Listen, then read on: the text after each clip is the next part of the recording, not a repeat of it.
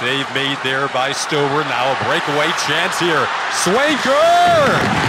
Save made by Dobish.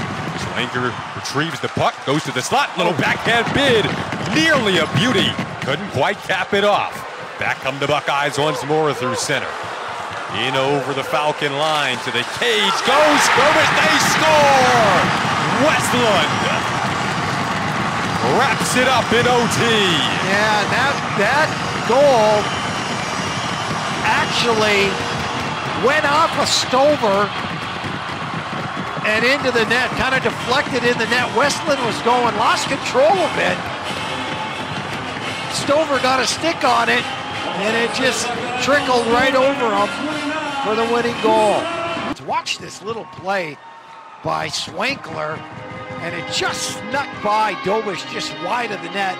And Westland coming here, just taking his time, didn't have anything else, brought it strong to the net. And that was the poke check I was talking about by the goaltender. Watch right here as Stover gets a piece of it, caroms off the leg of Westland and over Stover for the winning goal. Good power move here by Westland. Stover gets the poke check. Watch him go in slow, and then he turns on the Jets here, gets around Burke, a forward. No, I think he recognized that Burke was was the forward, not a defenseman back there, and so he went around him. And unfortunate bounce there for Stover